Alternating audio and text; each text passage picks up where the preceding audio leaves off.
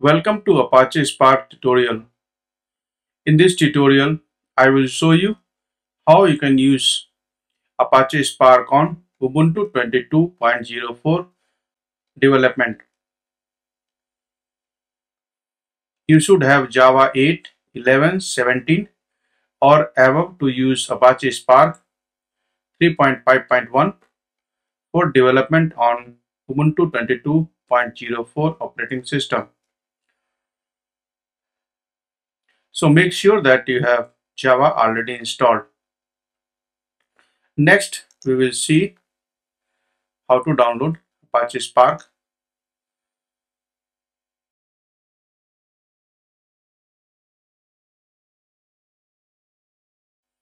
And this is the link to Apache Spark homepage.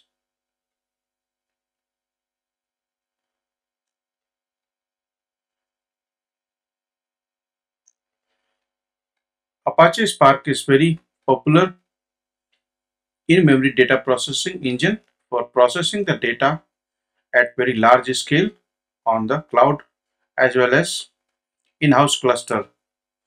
Apache Spark is used for processing large amount of data such as shopping cart website or data originated from any other website or IoT application and so on. So uh, in today's world our data is being generated by many different sources and companies are using this data to analyze the behavior of users and uh, get insight of their data. Apache Spark is very popular among the developers and it is being used by the companies for large scale data processing. Apache Spark can be used for processing the batch and streaming data it is also used for SQL analytics and it is also used in data science and machine learning projects. Apache Spark application can be developed using Python, SQL, Scala, Java and R. For this tutorial, we will use Python for writing some of the sample example and running it onto the Apache Spark cluster.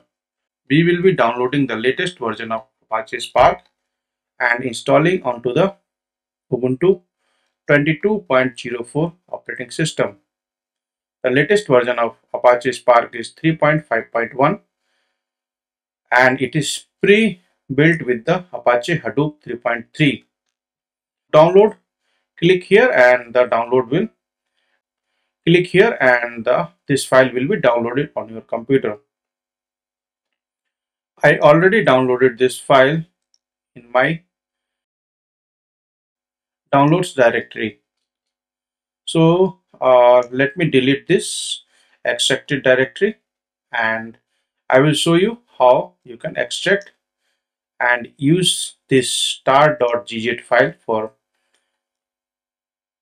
running your PySpark code. So right click it, open in open with archive manager. And this archive manager will be used to extract this tar gz file. Tgz file.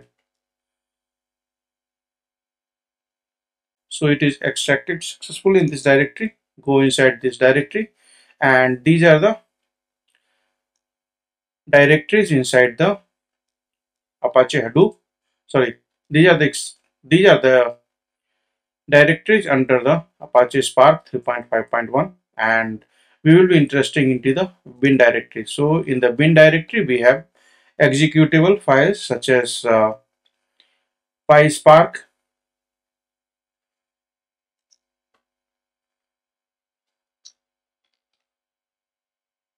yeah this is PySpark which we will be using to run our Spark code. Uh, you should open a terminal. For simplicity, I will right click and open. Select the open terminal. So this terminal is open and I can see these are the files. Uh, I will check the Java version. So Java 17.0.10 is already installed In the video description of this tutorial, I will provide you the link to learn the steps for installing JDK 17 on Ubuntu 22.04. To start the Spark, uh, type PySpark. So basically we are going to write the Python code into the Spark shell PySpark. Now you can see it is uh, it is started uh, Spark context web UI at the port 4040. So let's open this port.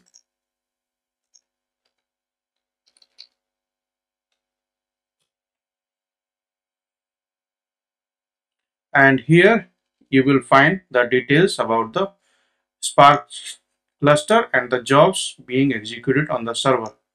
So we have jobs, stages, storage, environment, and the executor details.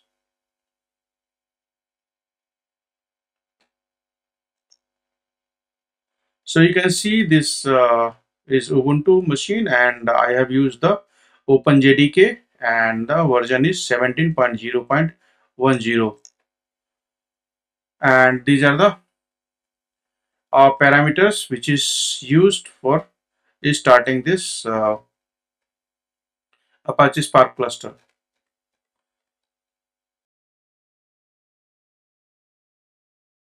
Write some of the code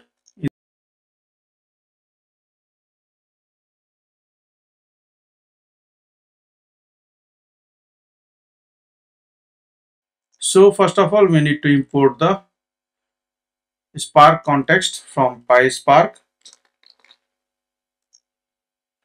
You can simply copy and paste. I will provide the example as well. So this is uh, importing the spark context. So spark context is necessary for uh, doing the spark data processing.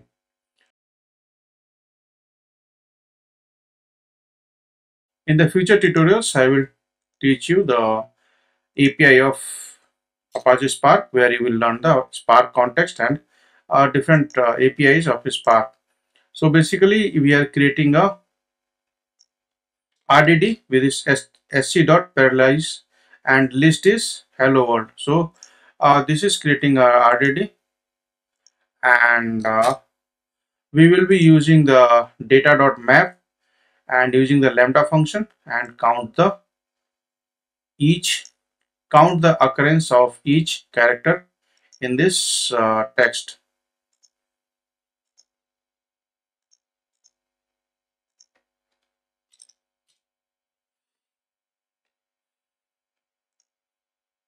And uh, now we can print the count of each character in the hello world text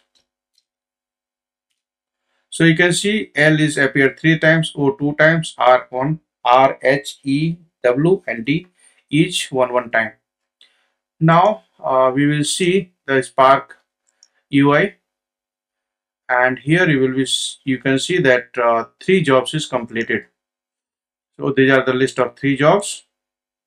If you go to the each job you will be able to see how the DAG is created and how it is executed later you will learn how what is DAG and how a Spark creates the DAG and how it executes the jobs Then we have second job.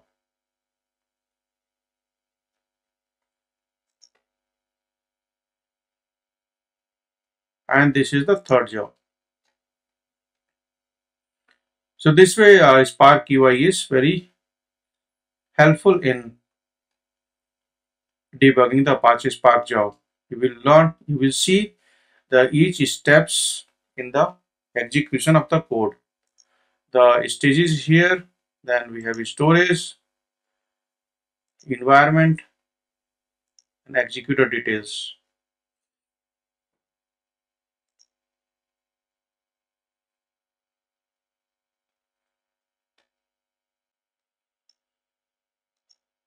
now I will show you another example.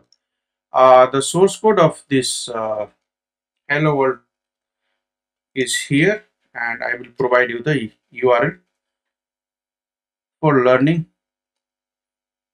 it in detail. Then uh, next thing uh, is the creating data frame from list. So data frame is uh, uh, in Spark is basically represents the your relational database table like structure. So it has got uh, columns and rows. So later you, uh, if you don't know about the data frame, so not an issue. Later I will teach you this as well.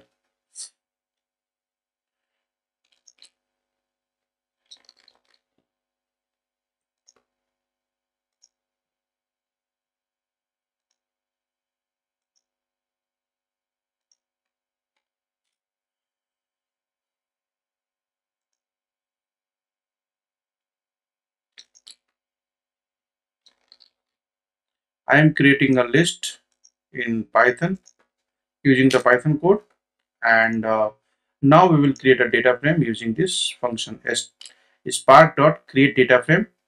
And it will take the list and the data type of the values inside it. So data type is integer. So we have given we have specified that integer type as a parameter so this uh, created the data frame and uh, we can see the data by running the command running the code uh, df dot. So so this is going to display you the values inside the data. This will display you the values inside the data frame. And if you want to see the schema you can use the print schema command. So this is a schema and it has got one it has only one column named value and the data type is integer. To check the number of rows you can simply to see the number of records into the data frame you can run df.count code and it will display the number of records inside the data frame.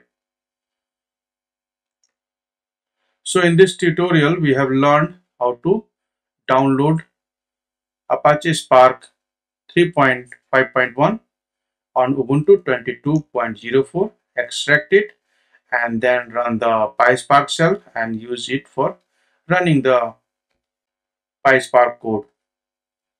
Thanks for watching the video and subscribe our channel.